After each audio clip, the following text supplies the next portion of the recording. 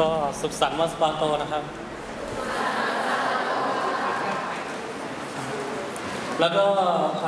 ขอกราบสวัสดีอาจารย์ทุกท่าน แล้วก็พี่พี่น้องๆที่มาวันนี้นะครับ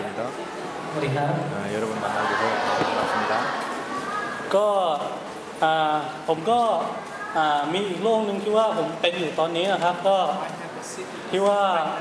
ผมเป็นแล้วก็ผมอย่างกับทำงานไม่ได้เลยนะครับ ก็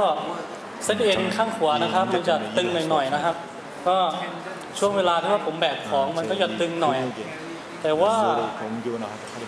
ขอบคุณอาจารย์ที่ว่าชักชวนให้ผมได้มามาในงานนี้นะครับ ก็ ผมได้มากินตามแบบแบบอย่างของพระเจ้านะครับก็ผมมาได้ 5 วันละน้ำหนักก็ลดได้3 3กิโลนะครับ ก็เป็นสิ่งที่ว่าผมดีใจนะครับ เพราะว่าการที่ผมอยู่บ้านเนี่ยการกินของผมนี่คือผมผมอย่างกับว่าคืออย่างว่ากินหนักนะครับ กินหนักเกินไปทำให้ ทำให้ผมเนี่ยมีสุขภาพที่ไม่ค่อยดี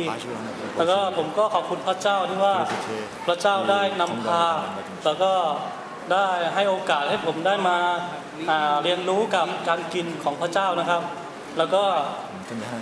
วันนี้วันนี้ร่างกายของผมที่ผมได้มาอยู่ 5 วันเนี่ยผมรู้สึกเหมือนกับว่าพระเจ้าได้ช่วยฟื้นฟูชีวิตและร่างกายที่ผมเคยเป็นอยู่ทุกวันนี้นะครับ ก็ ผมดีขึ้นมากนะครับ ดีขึ้นมากจากที่ว่าเคยเป็นอยู่ที่บ้านนะครับ วันนี้ผม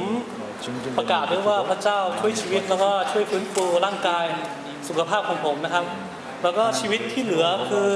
ผมจะนำการกินของพระเจ้าเนี่ยเอาไปเป็นแบ่งอย่างให้กับพี่ๆน้องๆของผมนะครับ แล้วก็ผมก็จะยังประกาศประกาศ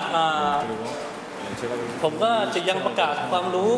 ในด้านการกินแล้วก็ในด้านพระเจ้า ผู้ทรงนิรมิตสร้างฟ้าและสวรรค์นะครับขอบคุณครับ